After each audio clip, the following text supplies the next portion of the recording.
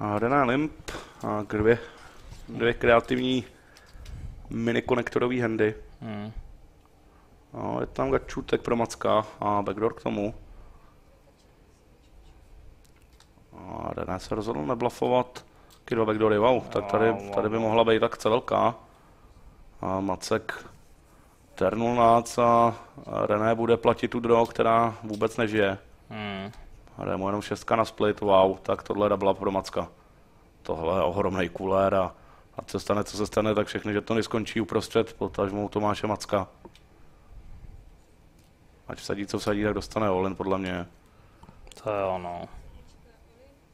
Tak, už to tam přiletělo, a je tady call. A tohle může být ten klíčový moment, který otočí ten heads up. A rázem co bude 2 ku 1.